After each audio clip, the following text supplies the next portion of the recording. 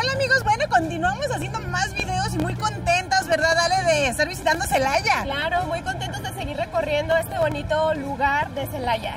Y sobre todo, bueno, pues agradeciendo a nuestros amigos del Consejo de Turismo, pues todas las facilidades que nos han otorgado para realizar estos videos. Muchísimas gracias a nuestro amigo Omar García. No, de nada, Alma, de nada, Ale, con gusto de un placer tenerlos por aquí, por Celaya. Como te, les comenté, pues vamos a estar disfrutando de Celaya.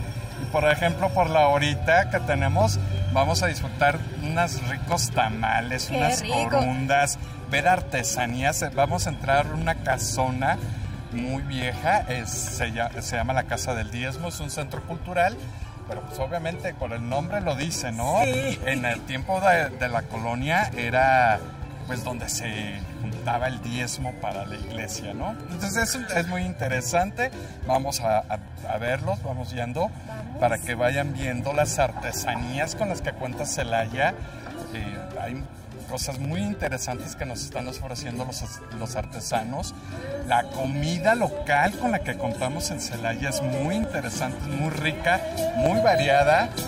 Hay- ahorita hay unos tamales con unas propuestas muy interesantes. Puede haber unos de, de chile verde con, con cerdo, ¿no? O puede estar el, eh, uno de, de café, que puede ser dulce o...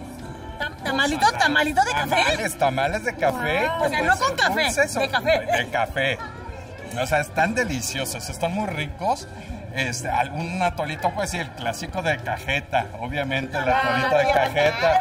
Pero también puede haber de, de guayaba. El blanco Sí, claro. también, ¿no?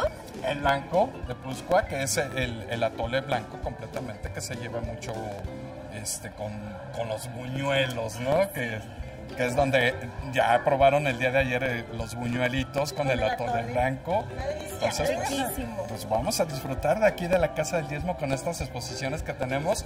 Estos, este evento eh, se llama Merequetengue y se hace aproximadamente cada dos meses dependiendo la temática, la temporada en la que estemos en el año. Claro. En esta temporada pues estamos cercanos a, ¿A la a Candelaria? 2 de febrero, a la Candelaria, pues entonces está esta temática para, para este mes, ¿no? O- Oye, Omar, pero ¿sabes qué me encanta? Eh, que le pongan merequetengue porque inmediatamente... Muy festivo, ¿no? Sí, ándale, lo relacionamos. te al invita a la fiesta. Sí. Te invita a la fiesta. Y sabes que este lugar es maravilloso de- desde que vas entrando, o sea, ese recibimiento que te da esa enorme puerta, vean. todo, todo el estilo colonial, las puertas tan antiguas que existen, los techos de triple altura que tenemos, con las que contamos, y es un lugar muy fresco, muy agradable, donde en el clima veraniego tú sientes que pues estás bien a gusto porque no sientes el calor tan abrasante que puede haber en verano, ¿no? Exacto. Aquí está muy a gusto. No, de verdad que el evento aquí luce bastante. Ya vamos entrando y podemos darnos cuenta que hay artesanos, ¿verdad? Nos pasamos así como platicando, platicando, pero hay muchos. Sí, claro, está desde la cartonería, obviamente, están por la- las plantitas, el cultivo de la miel, eh, los encurtidos, ah, por ahí está el, el tallado de hueso. Son, son diferentes artesanías con las que contamos aquí en Celaya, en la región, ¿no? Es muy interesante, muy colorido. Está muy padre aquí porque de verdad se maneja mucha versatilidad, ¿no? No, no solamente es el festival del tamal, sino que es artesanías, ¿no? Es que lo combinan y al hacerlo así, vienes, disfrutas y luego ya ves las cosas y te compras algo. Entonces eso es Para maravilloso. pasar, una- es para pasar unos ratos agradables, ¿no? En familia. En familia. Y, y incentivamos la cultura. Que es muy También. importante, la cultura. Toda la, la cuestión cultural, ¿no? Unidos. Sí, ahorita vamos a ir a probar los tamaritos, pero seguimos recorriendo aquí este pasillo donde podemos encontrar todas estas artesanías, todas las muñequitas. Sí, si te fijas, mira, aquí está trabajando la señora la parte de, de la artesanía, ¿no? Sea, e- ellos aparte de que vienen a exhibir para que podamos comprar sus, sus, las creaciones que realizan, ellos están trabajando, ¿no? Porque hay que seguir produciendo toda la artesanía, toda la manualidad con la que contamos. ¿Estas de qué son hechas? ¿De, de cartón? O- hola, ¿cuál es su nombre? Edith. Están hechas de cartón, ¿verdad? Esta es como la clásica muñequita de cartón. Así es, es muy parecida. Esta, esta en particular es muy, eh, esta sí es la, la, la tradicional muñequita de cartón con la que contamos. Estas ya son ya diferentes mo- modalidades que se van De pues hecho, creando, ¿La ¿no? hojita es de tamal? ¿O es papel crepé? Papel Se me figuró de... El, acabado. Claro. ¿verdad? Así es. Qué bonitos detalles, los colores, la alegría que. Mira estas, estas son más, todavía más clásicas. Esta, la, la voy a tomar tantito. ¿eh? Esta es más clásica, la, la, la muñequita de cartón. ¿Sale? Esta es más clásica. Eh, al rato vamos a ir con un artesano, con un taller, para que vean cómo se realiza realmente ya más a detalle. ¿Qué les parece? Para poderlas amar más y valorarlas más, ¿verdad? Sí, claro, exactamente. Porque acabadas se ven muy bonitas, pero no sabemos todo el esfuerzo que está implícito. Detrás de todo. ¿Cuánto se- tiempo se lleva para realizar una muñeca? Ay, ¿qué será? Porque sí, en lo que empapelamos, en lo que se seca, Todo, bueno, proceso. Días. Porque tienen que esperar a que seque, ¿verdad? unos dos o tres, tres- dos a tres días más o menos. Dos a tres días. Wow. Eh, Siempre sí, sí, es tiempo, que es lo más valioso del mundo, el tiempo. Claro. Bueno, es para irnos dando una idea, una breve idea de lo que aquí se está ofreciendo y de lo que implican las artesanías, ¿verdad? Macetitas de tamaños hermosos, pequeñitos, los colores, me encantan así para las suculentas, ¿verdad? Está Sí. padrísimo. Ahorita están. La suculenta es una planta que está muy de moda y la estamos usando y es una planta para muchos climas. En esta región se está dando mucho. Ah, y lo más bonito es que no ocupa tanto cuidado, ¿verdad? No, no, no, no ocupa mucho cuidado. Obviamente hay que tenerla a cierta temperatura para, para que se pueda conservar. Bien. Y de este lado, de este lado, a mí me encantó.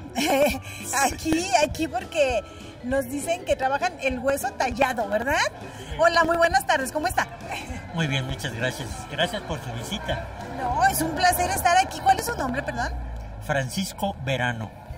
Bonito apellido. me gusta, ¿eh? Sí. Mm, eh, sí. Abrazador. no, abrazador, sí. Oiga, señor Francisco, entonces, todas estas bellezas que estamos viendo están eh, hechas de un huesito. Están hechas todas del fémur de la res, que es el que trabajo yo. Y lo trabajo porque es el hueso más resistente del animal.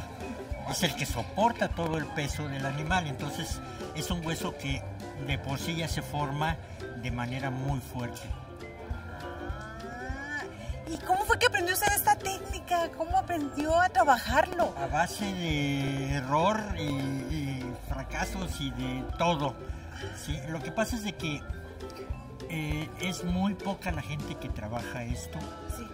por la complejidad que tiene, complejidad más bien, que tiene detalle. el hacerlo. Porque no nada más es agarrar el hueso y tallarlo y ya está. ya. No, es eh, el hueso ya lleva un proceso químico. Hay que ya no, prepararlo. sí, hay que prepararlo. Este ya no se parece al que le entrega a usted un carnicero. No, no, no, claro. Sí. eh, Entonces, este ya está procesado, tiene un proceso químico que le quita toda la materia orgánica, ¿sí? deja nada más lo que es caseinato de calcio, que es la conformación del hueso, y compacta los poros, los cierra. Eso lo hace muchísimo más duro de lo que ya es. Este ya no lo corta una sierra de carnicero. Se tiene que cortar con una sierra especial para acero.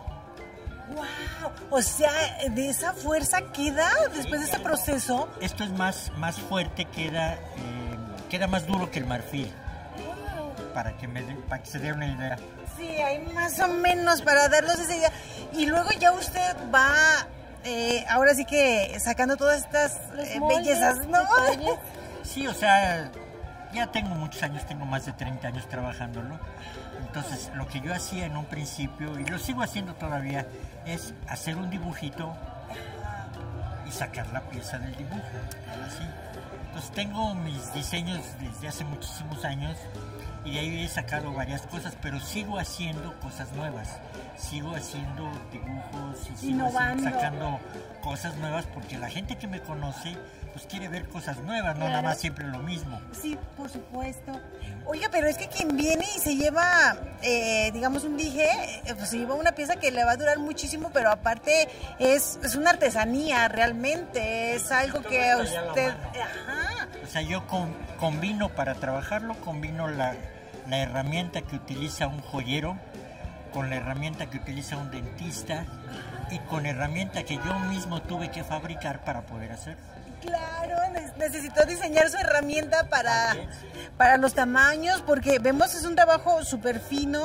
No me imagino cómo hace estos cortecitos. Vean ustedes esta pieza hermosa y para hacer ese, ese corte dentro, ¿verdad? Sin que pase nada ahí.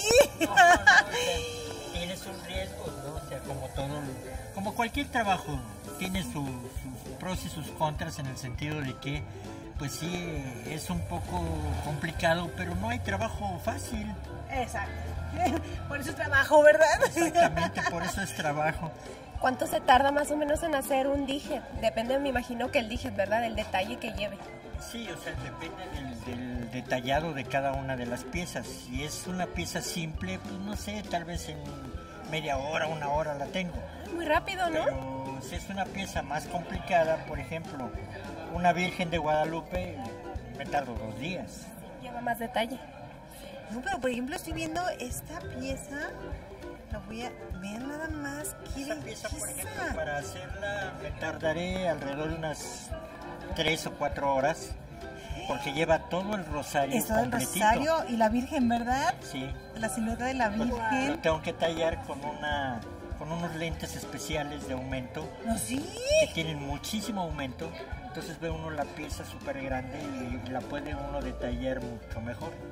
Pero qué belleza. Y bueno, para ya nos eh, dimos una idea de lo complicado, del tiempo que tiene usted que invertir, pero y si vamos a hablar ahora de precios, porque a, a lo mejor podemos pensar de que pues es algo muy caro y pues a veces pasa la gente y dice, no, pues mejor ni pregunto, no me Nunca asusto.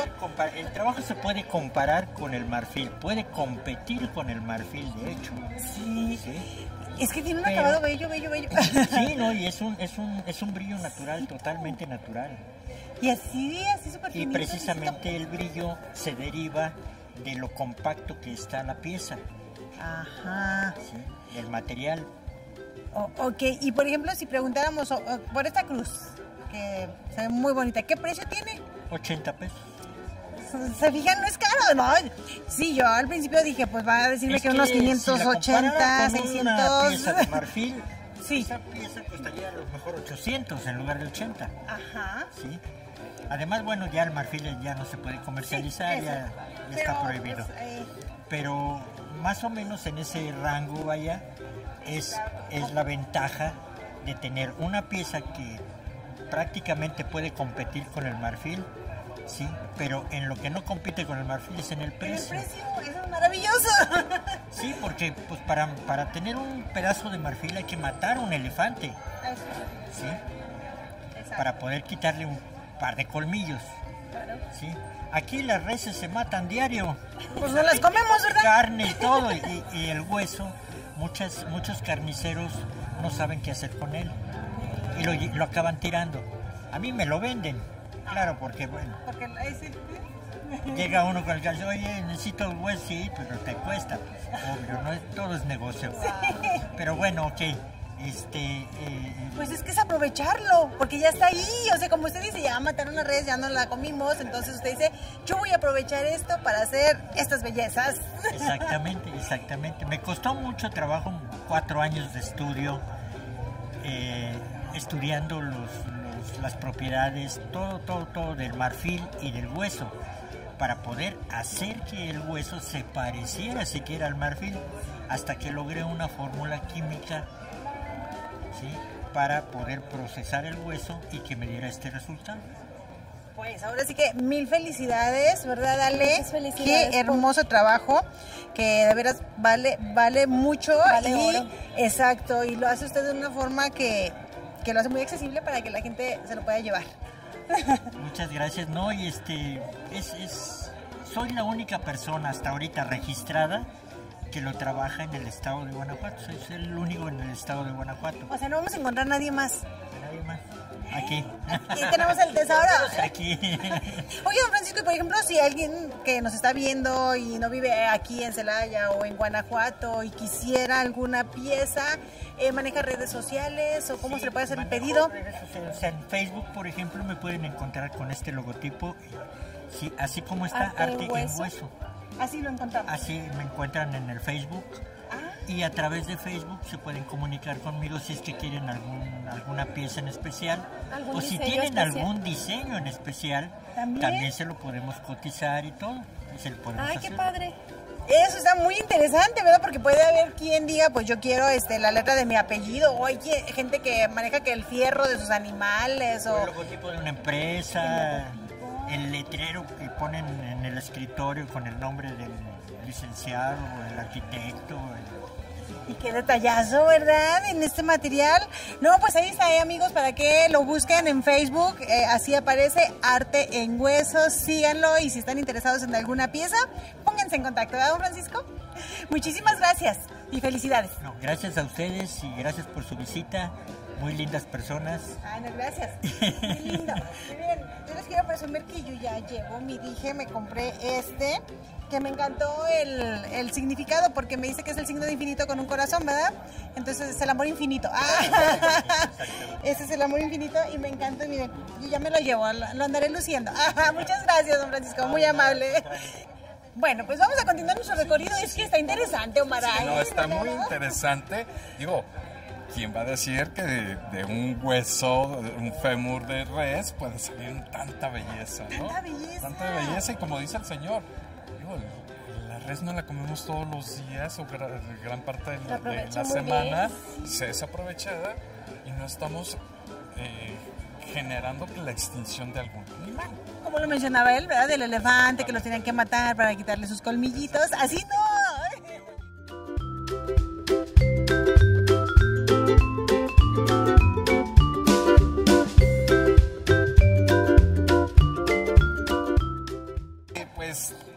Decir? Estamos entrando a la zona donde a todos nos encanta comer. Y qué mejor en estas fechas que estamos con los tamales. Y ahorita vamos a ir viendo pues, los, los lugares, los diferentes lugares que contamos con tamales. Ah, tamales de cacahuate. Esos no me los había visto en ningún lado. Sí, aquí hay mucha Sí, hay- versatilidad hay de de- aquí están de cacahuates, eh, te digo por allá están los de café, de cacao, entonces hay muchísima variedad. Por supuesto las gorditas del barrio de Tierras Negras, las de queso y migajas, no pueden faltar. Vamos a mostrárselas para que digan que no nomás les estamos platicando, para que vean todo lo que aquí es- pueden encontrar. Y, y lo que me encantaba, Omar, lo mencionabas hace ratito, o sea, este festival, ahorita el del tamal es previo pues al Día de la Candelaria, pero cada dos meses están aquí activos. Así es, ha- hacen eh, diferentes eventos, digo, se va a acercar, por ejemplo, en, el- en verano tienen alguna temática, estamos en septiembre, pues hay que comer pozolito, ¿no? Ah, sí, sí, Como en sí. todos lados. O viene la noviembre y pues estamos en el Día de Muertos y qué mejor que comer las delicias de- del pan de muerto, ¿no? Como ven, mira, por ejemplo, este tienen un sopecito. Ah, es un sope. eh. Con quesito y ahí hay unas quesadillitas y pues obviamente las gorditas. Antojaron, ya se antojaron y los olores. Huele. Te aseguro que quien lo está viendo en el video se les está antojando. Lástima que andan tan lejos. pero No, nosotros pero es para que vengan, en- Exacto. para que vengan y coman. Que, que esa es ahora sí que la finalidad de este video, de, de mostrarles para donde nosotros también conocemos, probamos, pero también les dejamos así como esa espinita a la gente para que sigan disfrutando de nuestro México. Así es, así es. Pero ves que la variedad de guisos, salsas, nopalitos, aguas. Las aguas ¡ay, naturales. mira, estoy seguro, por ejemplo, esta es de, de limón con chía. ¿Sí o no, Se le ve amiga? ahí la chía. Muy saludable. ¿Y De qué más? horchata. Piña, pepino, limón y chía. Mire, yo nomás me la sabía de limón con chía. Y esta es de... Ah, es que no puede faltar la jamaica, ¿verdad? Muy, muy de nosotros la jamaica. Pero esta tiene que como cacahuate arriba o qué tiene? ¿No es? Es nuez. Es Nuez, nuez. Ah. A ver, yo quiero probar un agua. Ay, ya se me antojó el agua de chía con limón, con piña y y pepino. Son muchos ingredientes, Omar. Claro, imagínate todo lo que, todos los nutrientes con los que cuenta, ¿no? Exacto, mira, te El quitas agua. tu sed y luego bien nutritiva. Exactamente, que- y qué mejor de, que el de la fruta. que nuestro país es rico en fruta. Tenemos una gran variedad de frutas. ¿no? Sí, no, somos bendecidos, definitivamente. Sí, definitivamente. ¿Ustedes de qué quieren una agüita? ¿Tú, vale? De horchata con nuez. Horchata con nuez. Ay, ahorita mira. yo no como todavía traigo lo del desayuno, mejor me espero. Y miren, aquí está. Horchata con nuez. Les presumo mi agua, miren, así me la entregaron con su tapita, su popote para irla disfrutando mientras vamos haciendo nuestro recorrido. Y bueno, pues déjenla, la probamos a ver qué tal está por acá. Mm. Oiga, qué buena combinación. Muy rica, muy fresquecita. Oiga, pero ¿qui- qui- ¿quién les enseñó a hacerla con tantos sabores? Ah, bueno, nosotros nos enseñó mi, bueno, mi mamá, pero mi mamá le ha enseñado a sus hermanas y su mamá. Yo ya soy la tercera generación que ha aprendido a hacer esto. Esta agua. Sí. No, se lo juro que yo nunca la había probado de esa manera, pero está genial, ¿eh? Receta de familia entonces, ¿verdad? De familia, claro que sí. Y platíqueme este vaso de agua, ¿qué precio tiene? En 20 pesos el medio o a 30 pesos el litro. Súper accesible, ¿eh? Qué buenos precios tienen aquí, me encanta. Muy bien, bueno, dejen, vamos a pagar. Deliciosa, solo 20 rica, ¿eh? pesos, me encantó. Ahorita regresamos, ¿eh? Por más. Sí, gracias. Buena, buena. Vamos a seguir viendo lo que estamos ofreciendo o, o que están ofreciendo la- las personas de aquí de Celaya. Mira, por ejemplo, aquí estamos en este puesto, tienen encurtidos. Tienen los cacahuates en vinagres, que son muy típicos de esta región. Pero los cacahuates con todo y cascarita, ¿verdad? Sí, con todo el cascarita. ¿Y así se comen con todo? Sí. Te Bueno, obviamente le, quita la cascarita. quita la cascarita, pero chupas la cascarita y todo es delicioso, es un manjar. Y el cacahuate ya agarra el sabor Estas son patitas de puerco, con- se le llama encurtido, que tiene papitas, cebollita, zanahoria. Mm. Te lo puedes comer con una tostadita, los cacahuates pues te los comes así como que botan, como una botanita, ¿no? O sea, que te vas a ir a ver tu película, tu serie y tu botanita. Que estás viendo el partido de fútbol y ahí También. estás caca- con los cacahuitos. ¿Y así solitos o Así salsita, solitos te algo, no? Es que ya tienen chile. El vinagre, ¿verdad? Ella tiene vinagrito y, y sí tiene un poquito de chile de árbol. Es como está aquí en esta bolsita. Exactamente. Ah, entonces si ya te los ofrecen, te llevas tu bolsita y a botanear súper rico. A, a botanear. Exactamente. Es muy típico de esta región de Guanajuato. Ah, y acá sabe el agua de tamarindo también. Y bueno, acá los atoles también. Y acá ya huele tamalitos. ejemplo, Hola, buenas tardes. A la señora Dorita. Hola, señora Dorita. Es parte de las cocineras tradicionales de Celaya. Orgullosamente pertenezco a ese gran grupo de mujeres trabajadoras y pues a echarle ganas siempre y así en en eso estamos. Ahorita estamos por iniciar nuestro octavo festival, noveno festival. Noveno ya. Noveno, sabor y tradiciones de Celaya y pues estamos bien entusiasmadas. Ay, qué padre. Y usted hizo tamales. También el día de hoy me hicieron favor de invitarme para venir a vender a este festival del tamal, el merequetengue. El señor Néstor de Sales, que es el coordinador de, de esta casa, Casa del Diezmo, y pues apoyados por la Secretaría de Turismo, Consejo de Turismo de aquí de Celaya, y luego el apoyo incondicional aquí con Omar. No, no, no, con, la Claro, gente- con, los- claro. con todo el Entonces, equipo. aquí tenemos unos tamales, esos son tamales gourmet. Tenemos unos tamales de zarzamora con queso Filadelfia. Y luego tenemos de piña con relleno de piña en almíbar. ¿Sí? Pero acá también contamos con otros Se me tamalitos. Ay, Ah, se me servirles. Ahorita, pero a ver, primero platíqueme Bueno, todo lo que... ahorita te voy a platicar que acá tenemos una vaporera con otro, otro tipo de tamales. Estos son, estos son de sal. Esos tamales son rellenos de pollo con salsa verde. Pero también tenemos los de queso con extra queso, los de queso con rajas. Queso extra queso, o sea, con mucho queso. Con mucho queso. Aquí no se limitan. No, no, no, no, no, no, nada, nada de eso, porque luego nos dicen, es que dicen que son de queso, pero es pura masa. No, no, no, eso no son fraude, eso sí tienen. Oiga, ¿y todo esto lo hizo usted sola? Con apoyo de mi hija. Sí, mi hija es mi apoyo, mi apoyo incondicional. Entonces, con apoyo de mi hija eh, hicimos. Y luego el atole también lo trajimos de sabor de eh, cáscara de cacao. que se va completamente este, sin leche, es con agua. Y luego también tenemos el que sí va de leche, pero lo traje sabor guayaba con leche deslactosada. Ah, excelente. Para los que no digerimos Sí, por sí, ahí en la leche. ¿verdad? Ajá, la lactosa, entonces precisamente para eso, porque no tenemos problemas, entonces para que no haya ningún problema y puedan disfrutar un rico vaso de sabor guayaba el día de hoy. Mañana de cajeta. Mañana otra vez va a estar aquí también. Claro, sí, de 9 de la mañana a 9 de la noche aquí vamos a estar. Así es de que agarren y prueben de lo que gusten. de que se Sí, antes de que se Es que hay que ser un merequetengue. Claro, claro, por supuesto que sí. Y platíqueme desde cuándo empezó usted a preparar, a comprar, o sea, todo lo que implica el estar este día aquí. Ajá, bueno, yo empecé desde el día miércoles, porque pues había que ser, hay que seleccionar las hojas de los tamalitos, hay que ir a comprar todos los insumos que vamos a necesitar para mañana, para en la noche, porque en la noche fue cuando los preparé para que estuvieran en óptimas condiciones el día de hoy. Entonces, a las tres y media de la mañana me dormí para preparar todo esto.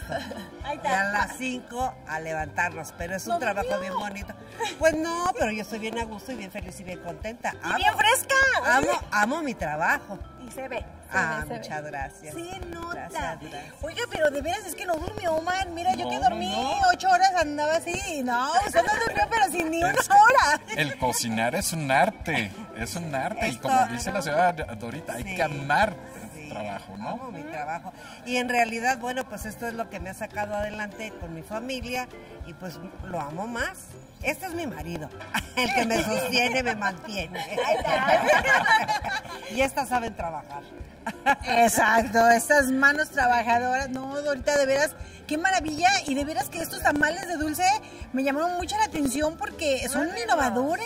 No, a mí sí, por No se favor. queden con ganas. Voy a poner acá mi vasito de agua. Bueno, prueben de todo. Mire, yo quiero uno de, de, de piña. Ay, de piña, Vamos a para los probar niños. uno y para seguir con nosotros. Ay, les ¿qué dice parece? Omar? Porque donde quiera ahorita, mira, detrás de mucho que cámaras probar. ya comemos de más. Miren, miren, aquí está el tamalito. Sí, que no, para que vean el color, la- el sabor. Sí, sí, porque hay, hay ocasiones que nos dicen, este es de piña. Bueno, está bien, es de piña. Pero este realmente lleva un relleno de piña y el sabor de la masa es de piña. Y es de piña y se ve que es de piña. y- pero ve qué tamal tan bonito me voy a comer. Ay, no, no sé qué, no soy yo sola. Les voy a compartir aquí a los compañeros. Todos Coman vamos a... ustedes, coman ustedes. Yo digo, yo los tengo Omar, aquí. Ustedes son los que vienen a visitar. No, es que este tipo de tamales a mí me encantan. No sé cómo los hacen porque me gusta esta, esta textura que queda esponjosita. Yo sé que es una receta secreta y jamás la voy a poder hacer, pero yo soy muy buena para comer tamales esponjositos. ¿sabes? Les No, comparto. no puede ser secreta, es que hay que compartir. Hay que compartir lo que uno sabe y el día que tú quieras yo de mil amores, yo te comparto esa receta. Ahorita que apaguemos la cámara me la compartan. todo Para que nomás yo la sepa. Sí, claro. Envidiosa. Con todo gusto, yo aquí estoy a sus órdenes. Gracias, ahorita. Bueno, pues vamos a probarlos. Híjoles, pruébelo, es que a mí ya, ya se me hace agua la boca, Andy. Mira. Ay, me arde el pedacito que corté, pero amigos, vean ustedes, ¿no? Qué delicia. Envidienme otra vez. Ay. Mm. Mm, Esto que ven acá es el relleno. Es el relleno de la piña. Sí, sabe a piña. ¿Sabe a piña? Sí, claro. Tiene piña. Sabe a piña y es de piña. Ay, yo quiero unos para llevarme a mi También casa. tengo de pollo y también sabe a pollo. Ay, yo quiero unos para llevarme hasta Jerez, amigos. Yo todos los días voy a cenar mi tamalito. Adelante, adelante. Aquí tenemos, aquí tenemos suficiente producción para que puedas. Para que nos llevemos, ¿verdad? Sí, claro. Pruébalo. No, a ver, vamos a ver. Tienes que probarlo. Yo sé que a lo mejor ya los has probado, pero... No, yo sí, imagínate. Todo lo que, todo lo que me tengo que sacrificar. Ay, sí, sí, sí. Adelante, para que les antojes. Mm, qué delicia, ¿eh? A- Acá el compañero de la cámara ya se le hizo agua a la boca también, pero ahorita le vamos a compartir.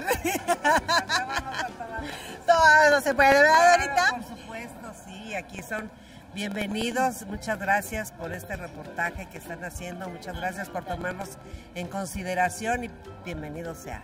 Ahorita felicidades. Son una delicia. Apárteme unos antes de que se vendan.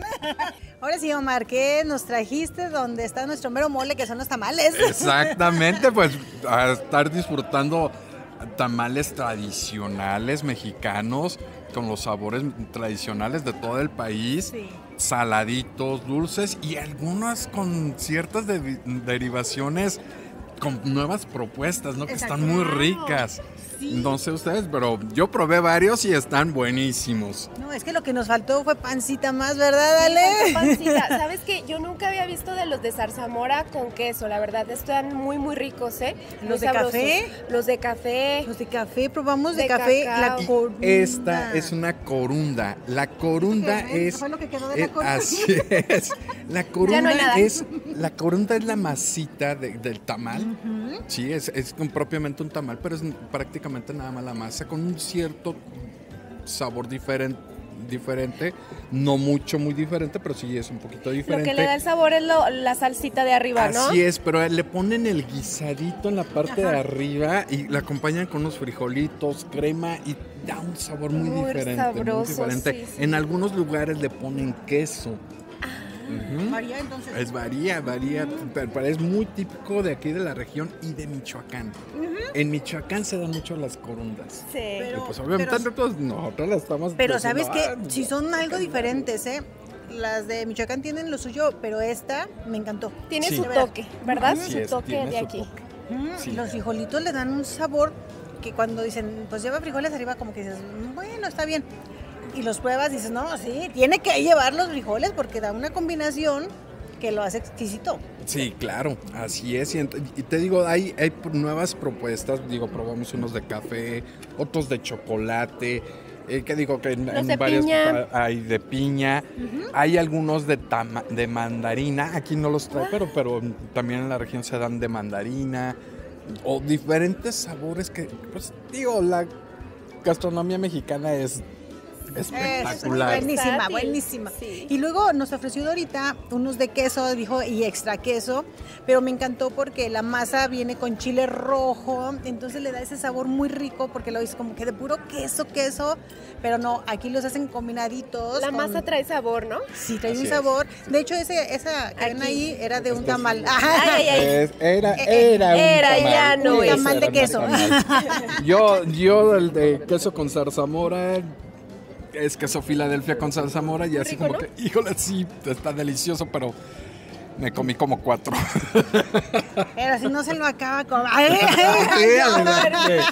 No. está muy rico, ¿eh? Es que a mí los tamales de dulce me fascinan. Sí, No, sí, no, sí. no, son una delicia. Y Yo pues- ya hice mi encargo para llevar. Yo también dije, Dorita, por favor, apárteme. Ya hice mis apartados, Sí, ¿eh? sí, sí. Espero que lleguen a Jerez, si no se acaban en el camino. Así es. Si llegarán. Sí llegarán. Y digo, aquí no se ve el- la basurita de la- del, del cacahuate que comimos, pero Buenísimo todo. también muy buenísimo. Mm. No, de veras, muchísimas gracias, Omar. Nada de nada. Encantadas de estar aquí, ¿verdad, estamos. Ale? Qué, qué- qué bueno que han disfrutado mucho, Mucho. nuestra ciudad. Muchísimo, no ciudad. saben. Muchas gracias, bien No, agradecidos con ustedes. ustedes por toda su hospitalidad y han sido tan cariñosos y tan lindos con nosotros. De verdad, los invitamos a que vengan a Celaya. Es un lugar muy bonito que tienen que venir a conocer y sobre todo este tipo de festivales, ¿no? Que invitan a, a conocer más de su cultura local. Así es, y, y el disfrutar con tu familia, el, el- el olvidarte un poquito de los problemas cotidianos. Que siempre Qué mejor que un Ujú. espacio donde puedas este, disfrutar que en familia. Sí, y vaya, que sea Celaya una opción, amigos, ya saben, prepárense porque ahora en marzo nosotros queremos hacer agenda nuevamente aquí, porque queremos Claro. venir a ese Festival de la Cocina Mexicana, que todavía este, sigo comiendo y voy a venir a seguir comiendo, Omar. Sí, así es, pues qué mejor, ¿no? Y sí, mejor. y de veras al Consejo de Turismo muchísimas gracias, No, gracias, a, todos. Gracias de, de- de parte de la licenciada Araceli Torres, directora del Consejo de Turismo, les a toda la junta directiva del Consejo, al ayuntamiento, las facilidades de que pu- pudiéramos este, estar por acá. Sí, de veras. Muchas gracias amigos. Visiten Celaya, gente hospitalaria de un gran corazón. La gente es muy amable, tanto eh, los que te encuentras a pie, como los automovilistas. Es agradable. Decía mi hijo, como que aquí sí manejan muy padre. sí, así es. Sí, Sí. creo, creo que tenemos un poquito de cultura vial. sí. Y bueno, pero pues no les platicamos más. Vengan, conozcan Celaya y si ya vinieron nos van a dar la razón. ¿verdad? Y Ale, pues nos despedimos. Nos despedimos, no sin antes pedirles que le den like al video y compártanlo para poder llegar a muchas más personas y poder mostrarles de nuestro bonito México. Claro que sí, amigos, dejen sus comentarios, ya saben que los leemos todos y son súper importantes. Y si no se ha suscrito, pues por favor hágalo, active campanita y siga recibiendo más de nuestros videos. Y aquí desde esta hermosa casa del diezmo, un Así lugar es. maravilloso, con mucha historia y también con muchos misterios. Nosotros les decimos gracias y nos vemos en la próxima. Hasta la próxima. Bye.